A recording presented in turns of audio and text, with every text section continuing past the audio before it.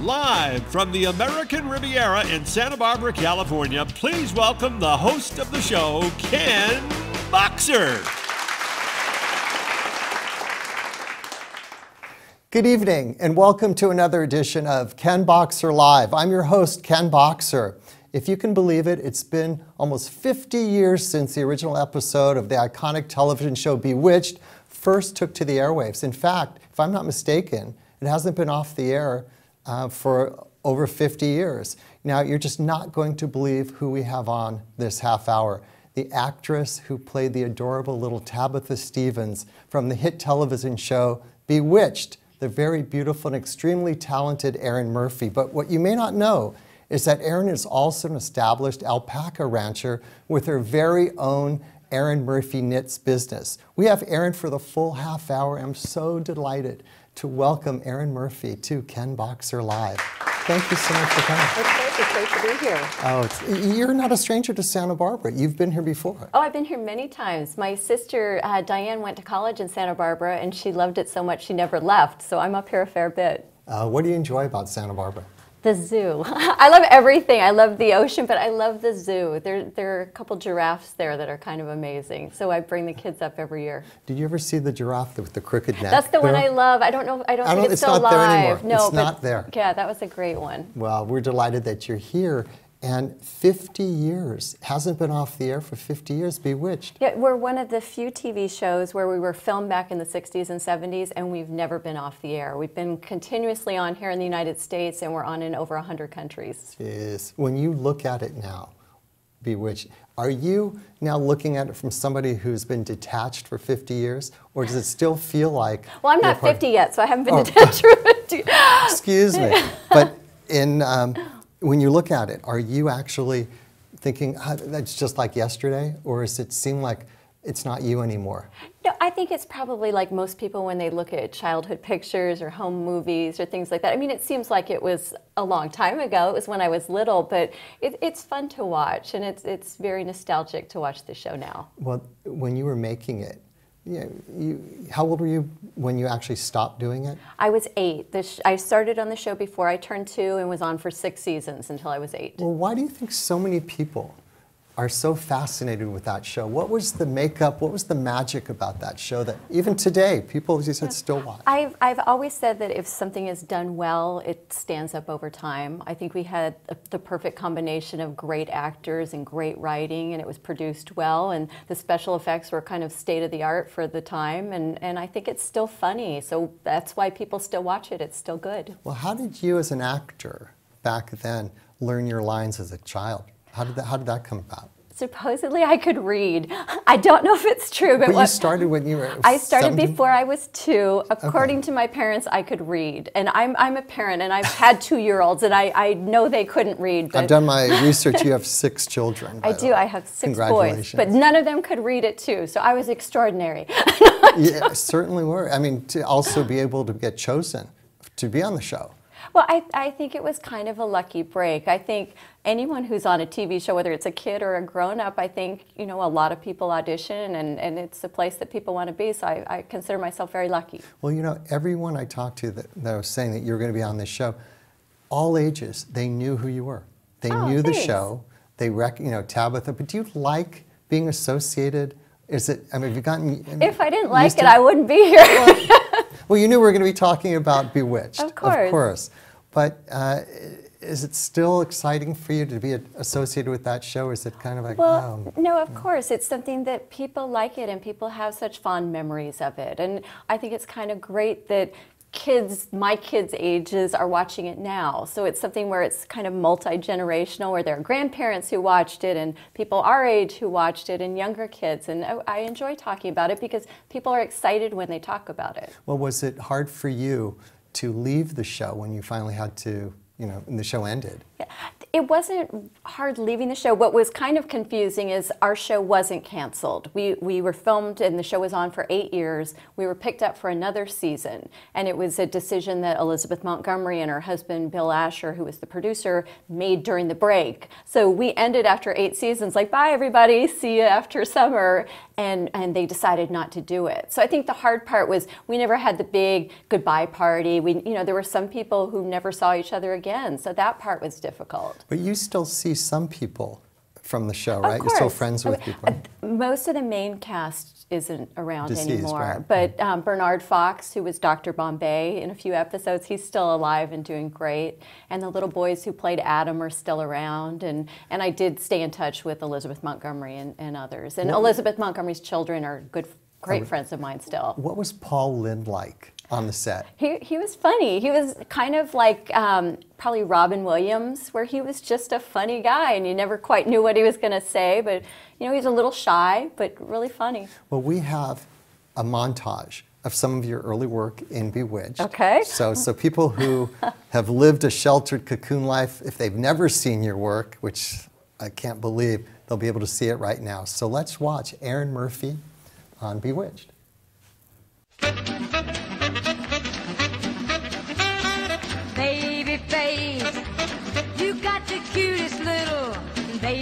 Face. There's not another who can take your place, baby face. My poor heart is thumping. You sure have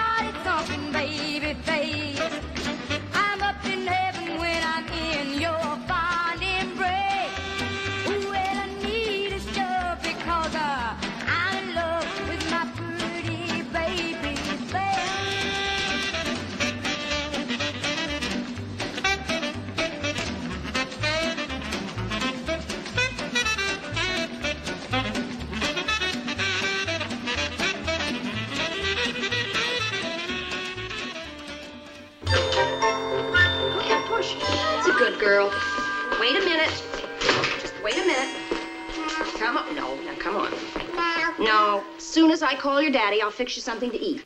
Well, there you are. I've been waiting for hours. Well, I'm sorry, Mother, but I've been very busy delivering my painting. You're painting. Yes, my painting. For your information, Mother dear, my painting is going to be hung at the charity exhibit. It might even win a prize. Well, that wouldn't surprise me. Erin Murphy, yes.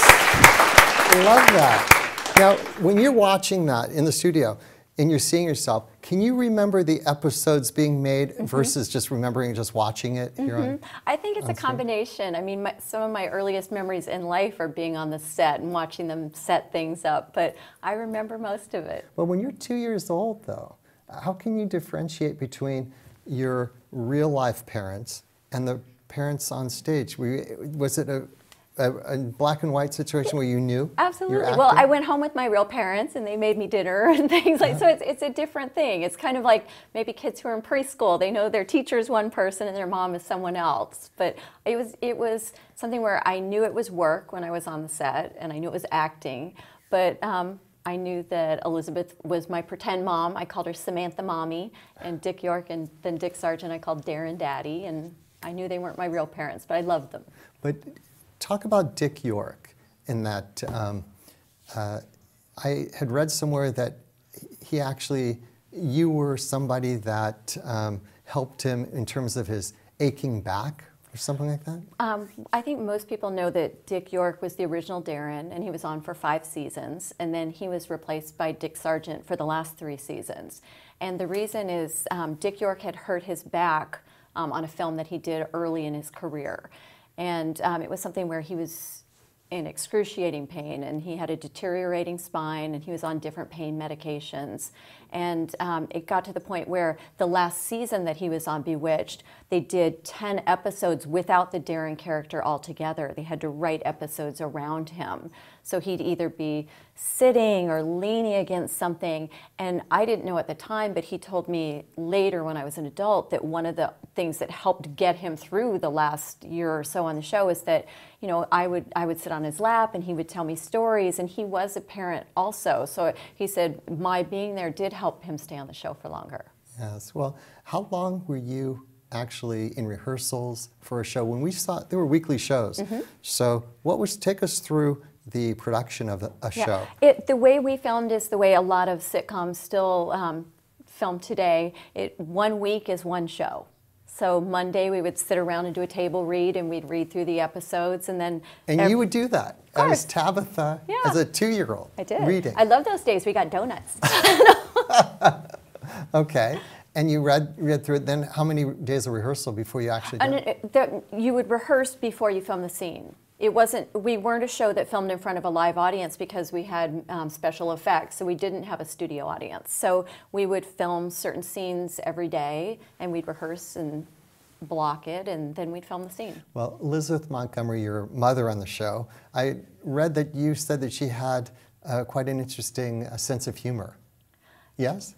I, I don't know if it was interesting. She was funny. Um, I think On the set or off the set? She was funny all the time, kind of like me. I think she was just one of those people where she had a great sense of humor.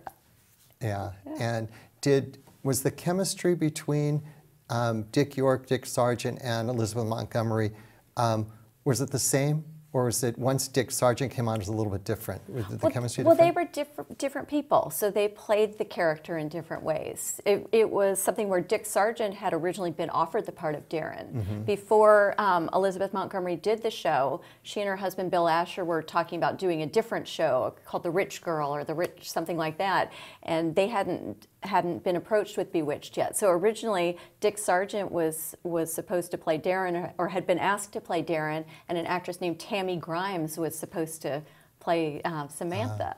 And then it, um, Bill Asher and Elizabeth Montgomery were looking for a series to do, and their their original concept was that it was about a girl who had lots of money, and she fell in love with a guy who had no money. So in, in a way, it was similar to the concept of Bewitched. She could do anything, but he didn't want her to use the money. And then at that point, it was brought to them, hey, that we have this other show with magic that's kind of the same idea. She has magic, he doesn't mm-hmm. have magic, and so then mm-hmm. then she did Bewitched. Here I am sitting here, and I'm going, this woman is well grounded, articulate. And I'm saying to myself, wait a second, most child actors are screwed up. Totally not true. To- I won't even No? let you Am I- finish the statement. No, It's- but you've heard it before. There must have I- some truth to I- it, right? No, I mean, wouldn't even agree with that. No? I Okay, think go ahead. I, some of my dearest friends are child actors. I, I think we kind of all well, support each other and love each other. come from? I don't, I don't know. Um, I think, and what I try to tell people is that if you take any group of kids, say 100 kids, and follow them through their lives, there'll be people who get in trouble, there'll be people who are successes. I mean, I'm sure if you think of kids you went to high school, there are just as many who might have had drug issues, maybe gotten into Absolutely. but they're not in the tabloids because they're not famous. So I think if you look at, at child actors as a whole, I wouldn't say we all go bad. I think it's kind of a we get a bad rap. I think. Well, your sister was part of oh, the. she was a troublemaker. No, I'm kidding. no, but uh, Diane, correct? Yes. Um, well, she was out of the limelight, but she must have still looked like you. Did, um, no, we're fraternal twins. We we really don't look alike Oh, at all. I mean, we're different heights and different coloring, and, and we really don't even look okay, that much so like sisters. So Bewitched ends. You're still, you know, you're nationally known. Your sister isn't after Mm-hmm. a while. So out of Bewitched, what happens then? Is life? You now have a comparison with a sister that's not in the limelight, and you are. But I think Did we things both change after I think we both went on to be productive adults. I mean, I don't I don't think either one of us had you know an advantage or a disadvantage. I think for me, I think being on a, a hit television show is a positive thing. I mean, I had great experience as a kid. I got a nice amount of money when I was an adult.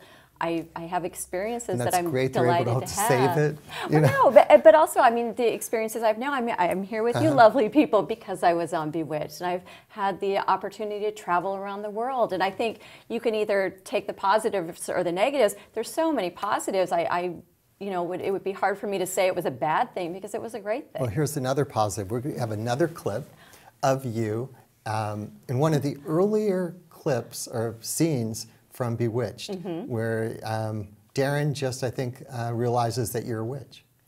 And so let's watch this. Let's Okay. watch Erin Murphy, Bewitched. I'll try to get home early to help out. Okay. Good luck, sweetheart. Bye, Tabitha.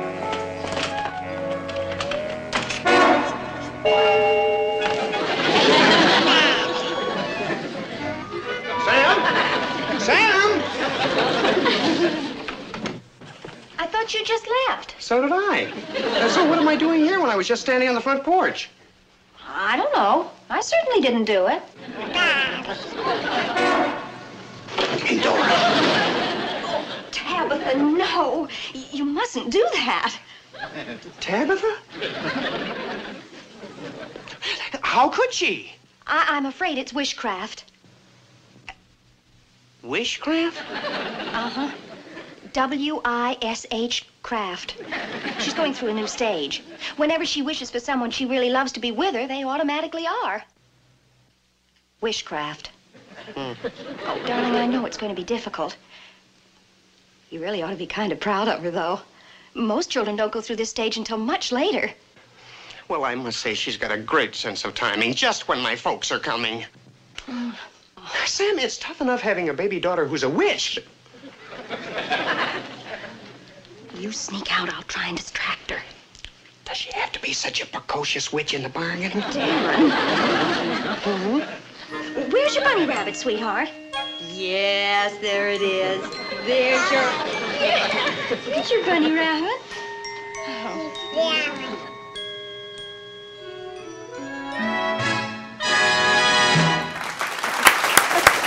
Erin Murphy, ladies and gentlemen. Erin, I have written here that you are also a TV host, a correspondent, infomercial host, casting director. You've been a makeup artist, a fashion stylist, an acting teacher, a motivational speaker, stunt double for Virginia Madsen, and a wrestler on Hulk Hogan's Celebrity Challenge. Miss, you were the mistress of mayhem. Mm-hmm. Is there a question? there- yeah, I, Where do you I- find time to do all this? I've I don't know. I always say that life is really short and it's really long too. So I want to do everything. I mean, and so when people I'm approached with different projects, I try to find time to do them if it's something that sounds fun or with celebrity wrestling, it's Oh it's God. kind of a funny story. I got a call from my agent and they said, We've gotten a call. We have a job for you. They said it's sort of like Dancing with the Stars, only it's wrestling. so, but it was Hulk Hogan Celebrity Championship Wrestling. And the concept was Hulk Hogan and these professional wrestlers um, teamed up with celebrities and they taught us wrestling moves and we truly wrestled. It was and it was so much out of my element that I said yes immediately and I loved it and it was awesome and I had bruises and I I just kind of put myself out there and it, it's an experience. It was fun. I loved it. I wish I you, people could still watch it. Oh, you can watch. It's online. It was um, CMT Network. You can Google it. And I came up with. We had to create our own wrestling persona. So mine was the Mistress of Mayhem, otherwise known as Mom. Get it? M O M.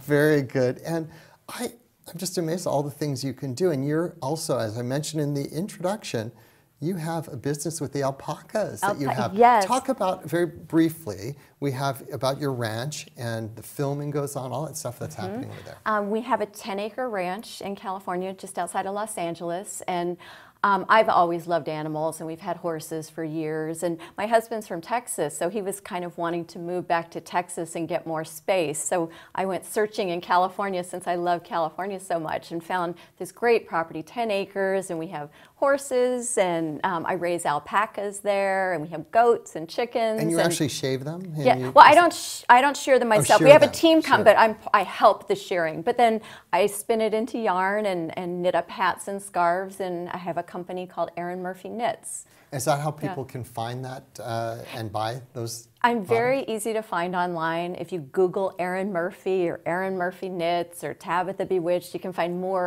than you would want to know about me. And is it a popular item? I mean, A hat? Yeah, Hat. of I mean- course. it's cold. You want a hat.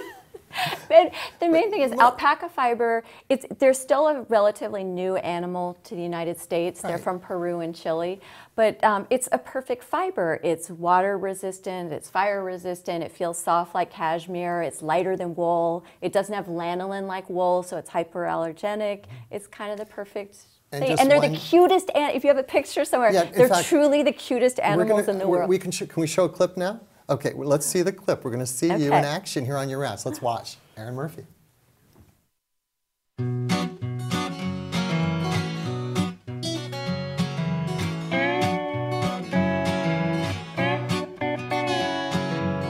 Hi, I'm Erin Murphy, and you're at my ranch in Santa Clarita, the Tranquil Veranda Ranch. Welcome. Um, you may recognize me as Tabitha from the TV series Bewitched, and now I have a company called Erin Murphy Knits where I raise alpacas, and we're running an equestrian center at our ranch. I basically grew up on Bewitched. I started on the show before I was two, and it was a wonderful experience. We had great writers, we had a great cast, and it's one of those shows, I think it's held up really well over time. We're one of a very few TV programs where we filmed in the 60s and 70s and we're never off the air. We've been on TV consistently since we filmed.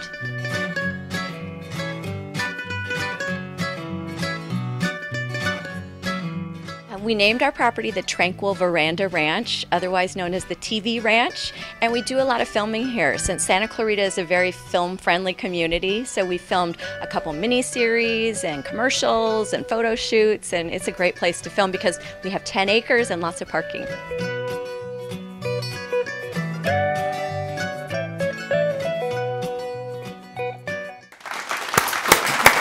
Erin Murphy.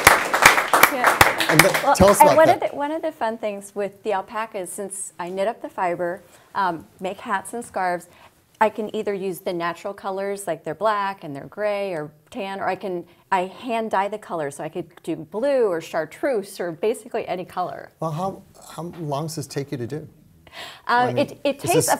It's interesting. I was writing a children's book about it takes a year to make an alpaca hat, and the reason is it takes an entire year for the alpacas to grow enough fiber to shear them. So they have to grow the fiber over a year. You shear them, you spin it up into yarn like Rumpelstiltskin on those Mm-hmm. big wheels, and then it. You know, I can knit hats pretty fast, but the entire you do it process. yourself. Oh yeah, I You mean, I, like, oh no no, I don't have a sweatshop. It's me. It's you. yeah. Oh, do you put your initials anywhere on it? No, Or- no, or- I have little like little labels. Uh -huh. Yeah, Oh, and have you always thought about having a ranch?